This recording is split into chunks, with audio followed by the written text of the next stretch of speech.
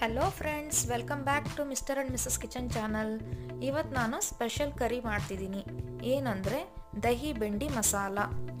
ಇದು ಚಪಾತಿಗೆ, ಪರೋಟಾಗೆ ನಾನ್ಗೆ ತುಂಬ ಟೇಸ್ಟಿಯಾಗಿರುತ್ತೆ ಹಾಗೆ ಕ್ವಿಕ್ ಆಗಿನೂ ಮಾಡ್ಕೋಬಹುದು ದಹಿ ಬೆಂಡಿ ಮಾಡಲಿಕ್ಕೆ ನಾವಿಲ್ಲಿ ಕಡಿಮೆ ಇಂಗ್ರೀಡಿಯೆಂಟ್ಸ್ ಯೂಸ್ ಮಾಡ್ತಿರೋದ್ರಿಂದ ಇದನ್ನು ಜಸ್ಟ್ ಹತ್ತರಿಂದ ಹದಿನೈದು ನಿಮಿಷದೊಳಗೆ ರೆಡಿ ಮಾಡ್ಕೋಬಹುದು ಹಾಗೆ ಇದನ್ನು ಲಂಚ್ ಬಾಕ್ಸಿಗೆ ಸಹ ತೊಗೊಂಡೋಗ್ಬೋದು.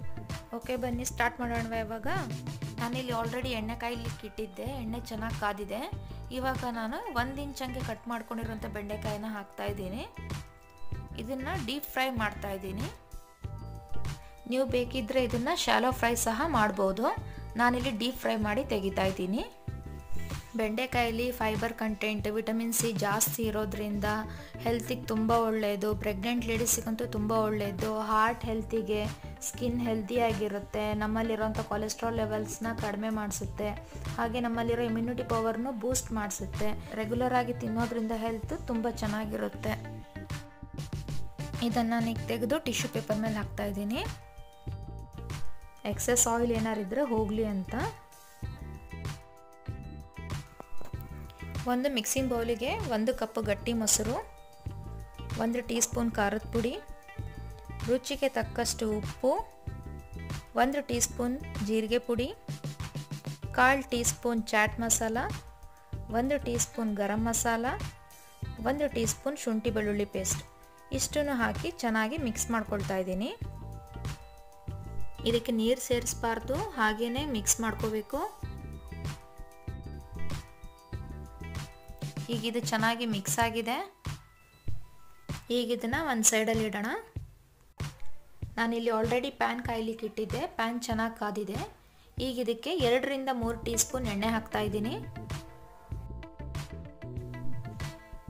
ಎಣ್ಣೆ ಚೆನ್ನಾಗಿ ಕಾದಿದೆ. ಈಗ ಅರ್ಧ ಟೀ ಸ್ಪೂನ್ ಅಷ್ಟು ಜೀರಿಗೆ ಹಾಕ್ತಾ ಇದ್ದೀನಿ. ಜೀರಿಗೆ ಚಟಪಟ ಅಂತ ಸಿಡಿದ ತಕ್ಷಣ ಸಣ್ಣದಾಗಿ ಹೆಚ್ಕೊಂಡಿರೋ ನೀರುಳ್ಳಿ ಹಾಕ್ತಾ ಇದ್ದೀನಿ. ಈಗ ಇದನ್ನು ಒಂದು ಮಿನಿಟ್ ಫ್ರೈ ಮಾಡ್ಕೊತೀನಿ. ಸ್ವಲ್ಪ ನೀರುಳ್ಳಿದ ಕಲರ್ ಚೇಂಜ್ ಆಗ್ತಿದ್ದಂಗೆ ಆವಾಗಲೇ ಕಲಸಿಟ್ಕೊಂಡಿರೋಂಥ ಮೊಸರನ್ನ ಹಾಕ್ತಾ ಇದ್ದೀನಿ. ಇದನ್ನು ಒಂದು ಎರಡರಿಂದ ಮೂರು ನಿಮಿಷ ಕುದಿಸ್ಕೋಬೇಕು. ಇದೀಗಾಗಿದೆ ಈಗ ಆವಾಗಲೇ ಕರೆದಿಟ್ಕೊಂಡಿರೋಂಥ ಬೆಂಡೆಕಾಯಿನ ಹಾಕ್ತಾ ಇದ್ದೀನಿ.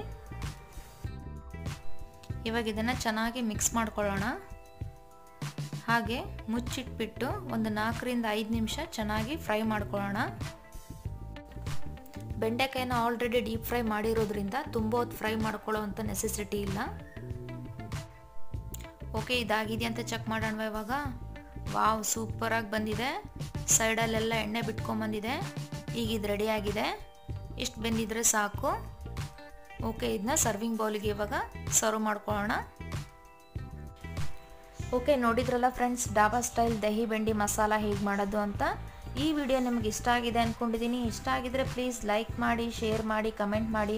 ಮತ್ತಷ್ಟು ಈಸಿ ಆ್ಯಂಡ್ ಟೇಸ್ಟಿ ರೆಸಿಪಿಗಾಗಿ ನನ್ನ ಚಾನಲ್ಗೆ ಸಬ್ಸ್ಕ್ರೈಬ್ ಆಗೋದನ್ನ ಮರಿಬೇಡಿ. Thank you